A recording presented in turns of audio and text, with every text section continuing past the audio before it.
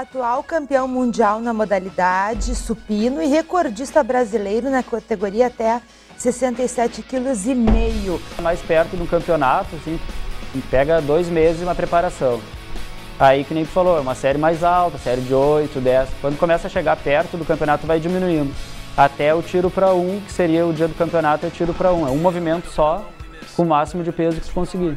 E qual é o teu recorde que tu fez? 215. Você pensa que ganhar um prêmio desses é fácil? Até o boneco deste outro troféu sabe que não. Olha só a expressão dele.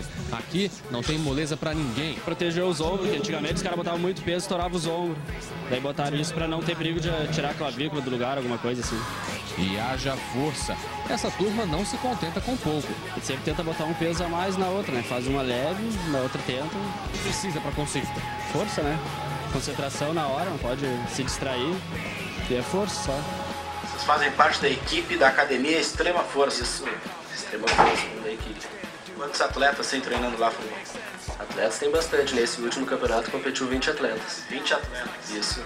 Agora, o, o, pessoal de casa é bom a gente informar também que existem várias federações e confederações que, que diferenciam um pouco até mesmo as modalidades, né? Isso mesmo, a nossa federação que nós competimos agora é a Combraf, que é a Confederação Brasileira de Esporte de Força. Eu me alimento bem, suplemento bem, consigo manter na categoria que eu quero, está me ajudando bastante. Cara, sucesso pra ti. Vamos combinar de um outro dia. Eu sei que é difícil, mas trazer o material aqui pra gente mostrar pro pessoal de casa que não é história, que tu, que tu levanta mesmo 160, 170 quilos. Levanta mesmo, mostra ao vivo aí, não tem problema. Obrigado, Formiga. De nada, obrigado.